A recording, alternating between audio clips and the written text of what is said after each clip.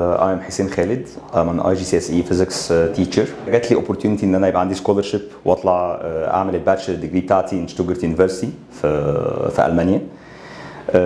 بعد كده افتر ووردز أنا عملت ماسترز اوف ساينس ان انجينيرنج ان سمثينج ريليتد تو فيزكس تو ثيرمال فيزكس ان 2015 ان ذا اي سي وبعد كده ات ذس بوينت بقى اي ستارتد shifting تو فولو ماي باشن which is teaching.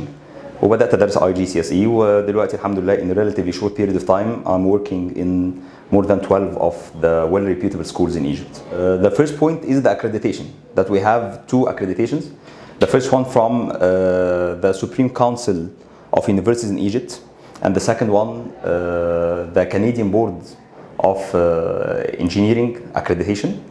Uh, so you will have opportunities to work in Egypt or uh, either in Egypt or uh, abroad which is a great edge uh, for the students enrolled uh, here. The second point, which is uh, I consider a great advantage to study in the University of Canada in Egypt, is the cooperation between the universities and some of the well-known companies in Egypt. So you'll have the chance to do your internship uh, in one of these companies. You don't have to search and to look for companies.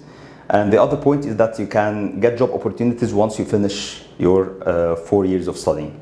What I see uh, very promising here is the Department of uh, Sustainable Design Engineering. We didn't have such uh, an opportunity.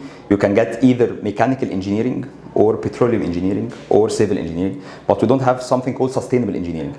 We can select some of the minors to be uh, directed towards sustainable, but if you have the opportunity to get sustainability integrated to design engineering, this will be uh, the future.